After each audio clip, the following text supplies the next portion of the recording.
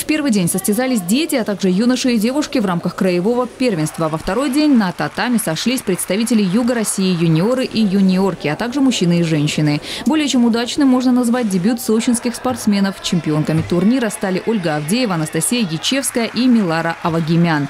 Серебро турнира завоевала Юлия Маликова. Все спортсменки тренируются у Ольги Авдеевой. Стоит отметить, что юниоры и юниорки, а также юноши и девушки, представившие курорт на турнире, принесли Сочи награды практически в каждой весовой категории. Особо организаторы отметили спортсменов седьмой спортшколы курорта, а также учащихся шестой гимназии Сочи, сестер Авдеевых и братьев Григорян.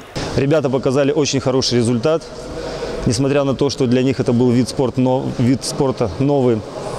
И все участники соревнований показали очень хорошую борьбу. Приятно было наблюдать. Сочинские единоборцы пополнили состав сборной команды Юга России. Сейчас готовятся к первенству и чемпионату России по джиу-джитсу. Оно пройдет в Подмосковье в декабре.